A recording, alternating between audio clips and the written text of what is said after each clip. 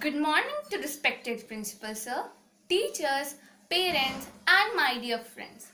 I am Manasvi Mishra of class 6th. Today I have recited a poem on the event of online poem recitation competition. It's a self-composed poem. I have titled my poem as O Soldier. O soldier, you do everything. Nothing is impossible for you. You dive in the sea of water and fly in the sky of blue. O soldier, you do everything, nothing is impossible for you. You walk in dark forest and ascend the Mount Everest. You walk in dark forest and ascend the Mount Everest. Life and death are true. O soldier, you do everything, nothing is impossible for you. Bravery is your passion, you die for our nation. Bravery is your passion, you die for our nation, and it's not new. O soldier, you do everything, nothing is impossible for you.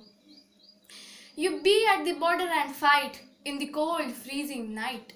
You be at the border and fight in the cold, freezing night. No one knows your view. Oh, soldier, you do everything, nothing is impossible for you.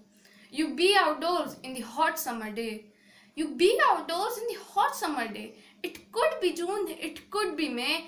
Sweat on your face like as a dew. Oh soldier, you do everything. Nothing is impossible for you. Thank you.